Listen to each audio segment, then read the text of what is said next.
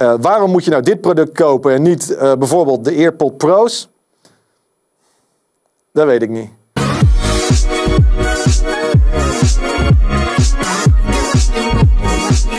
Hey, goed dat je kijkt naar een nieuwe unboxing popcorn. Het is al een tijdje geleden, maar we hebben nu vandaag wel een juweeltje. En we hebben er ook op moeten wachten. Want um, het product waar het nu om gaat, dat gaat over de, de, dat is de nieuwe Sony Even kijken of je hem ziet. De nieuwe Sony WF1000X Mark 3.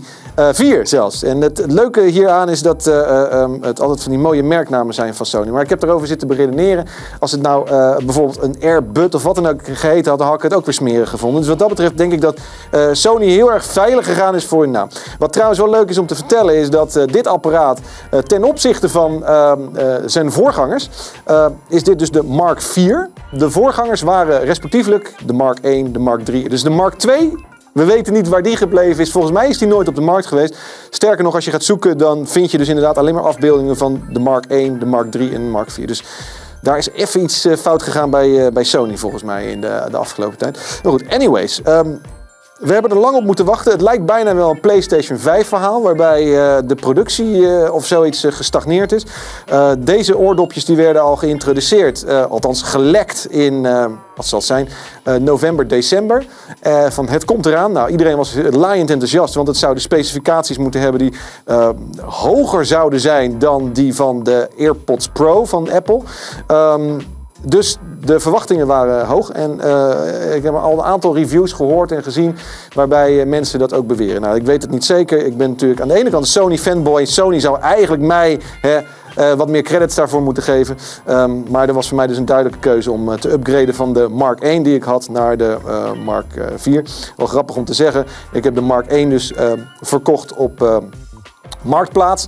Uh, die was ik trouwens ook zo kwijt. Wat wel, ik, ik, ik ben daar zelf niet zo'n grote fan van. Dat je zeg maar dingetjes die je toch in je oor stopt, dat je die zeg maar dan uh, koopt op Marktplaats. Ik heb ze nou, ook, sorry voor degene die ze gekocht hebben, ook niet schoongemaakt. Uh, maar er zaten ook wel schoon earpieces bij. Dus wat dat betreft, het, het, kan allemaal corona safe in die zin.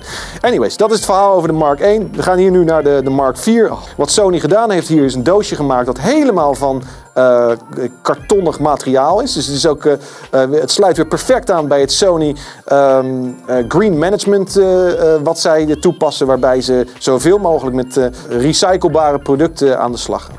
Anyways, laten we maar eens even kijken hoe dat dan gaat. Er staat hier ouvrir, dus dat is waarschijnlijk openen. Ik word er altijd heel nerveus van. Ah, kijk, daar gaat hij. Ah, kijk, zo'n mooi bandje eromheen. Het voelt al gewoon lekker. Staat op Industry Leading Noise Cancelling. Hebben ze het stickertje hebben ze, hebben ze, hebben ze, hebben ze toegevoegd. Industry Leading Noise Cancelling. En dat, uh, dat, uh, dat was nadat er reviews kwamen van uh, bedrijven die vonden dat het hele goede oordopjes waren. De 1000X-series. Ik bedoel, het kan alles zijn, hè? 1000X. Het kan zelfs een auto uit Japan zijn. Kijk eens. Wauw, dit is wel, ik verbaas me hierover. Ze zijn wel, het is wel serieus klein. Het is wel serieus klein. Het doosje, dat uh, kijken we zo naar. Dit is wat het is.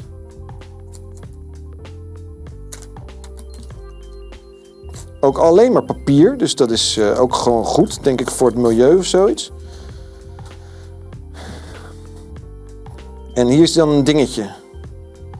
Ik heb ook gekozen voor de zilverkleurige, want ik dacht dat past het beste bij mijn uh, huidskleur, bij mijn huidtype. Ik ben zelf ook nogal uh, bleek, dus dat, dat, dat komt, dat komt helemaal goed. Even kijken wat er verder nog in het doosje zit, wat we wel of niet zouden willen gebruiken. Een stukje karton, is niet zo boeiend. Handleidingen, een heel pakketje handleidingen, maar in principe staat hier al op wat, hoe, je, hoe dit werkt volgens mij. Dus je hoeft er niet heel veel van te weten. En hier zit dan inderdaad aan de ene kant denk ik het kabeltje, ja. En aan de andere kant de earpieces. En Sony claimt dan dat er een, uh, dat zit dan in de app, dat heb ik nog niet geprobeerd, want ik maak ze nu net open. Maar in de app zit dan zeg maar dat je uh, je oren over kan laten aan de technologie die dan voor jou bepaalt welk earpiece je moet gebruiken. Nou, super grappig. Even kijken hoor. Voor de eerste keer eruit. Ik weet nu al dat deze veel te klein zijn voor mij. Maar het is wel een stuk beter dan de vorige, want deze zijn er, klikken er magnetisch in. Nou, waarschijnlijk is dat de reden dat ze een plasticje er nog tussen gedaan hebben. Ehm, noise cancelling schijnt fantastisch te zijn op deze dingen. Eh, ja, dat is iets wat we eh, nog maar moeten gaan zien. Want ehm, eh, uiteindelijk is het zo dat eh, noise cancelling natuurlijk eh, eh, alleen maar goed werkt met meerdere microfoons. Nu is dat ook wel zo dat deze heeft natuurlijk meerdere microfoons.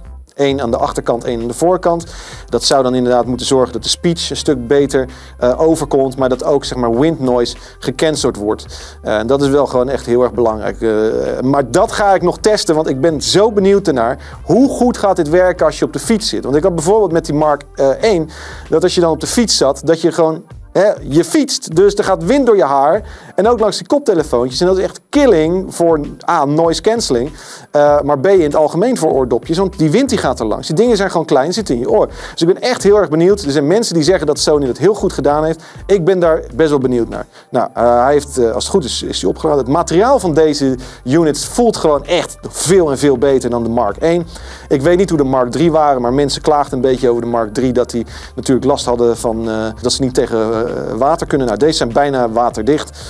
Althans, die hebben een Die niet heel erg hoog is, maar wel hoger dan eh, zijn voorgangers. Het voelt veel meer premium dan dat het was. Want het doosje dat voelt gewoon met een magneetje, ja, dat is gewoon netjes gedaan. Het materiaal voelt veel beter. Je kunt hem opladen met, eh, met zo'n mooie USB-C eh, die er aan de achterkant op zit. Ehm, dus uiteindelijk zal het nu aan gaan komen op installatie. En eens even kijken wat, wat het gaat doen ehm, in de praktijk. En daar wil ik nog wel even op terugkomen. Want ehm, dat zegt natuurlijk alles. Dit was een unboxing. Maar hoe gaat die straks werken? Dus er komt wel een update over. Ik ga dat zeker even testen. En ik ben wel een Sony fanboy. Maar ik vind ook, waarom koop je zo'n product? Het moet gewoon beter zijn dan wat je had. Nou, dat zal het waarschijnlijk wel. Maar is het eh, echt industrie-leading? eh, net als eh, andere producten? Dat, dat gaan we zien. Waarom moet je nou dit product kopen en niet bijvoorbeeld de AirPod Pro's? Dat weet ik niet.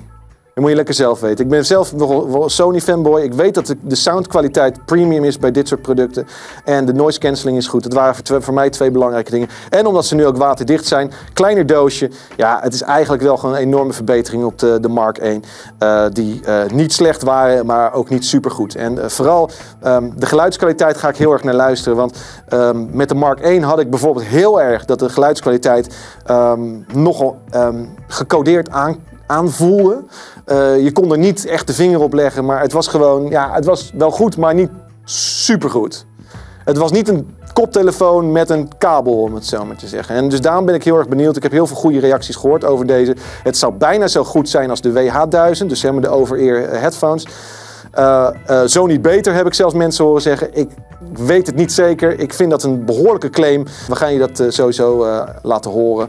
Eh, in een eh, volgende review. Maar goed, het materiaal is wel een stuk beter dan dat het eh, was in de, de Mark 1. Het ziet er gewoon wel premium uit. De echte ervaringen van, van het in gebruik nemen van het ding. Dat ga je later zien in een volgende video. Nou, dankjewel voor het kijken naar deze unboxing popcorn. Abonneer je op ons kanaal. Zet het belletje aan, want dan ontvang je ook gelijk de updates als er weer nieuwe updates zijn. En dan zien we je graag een volgende keer.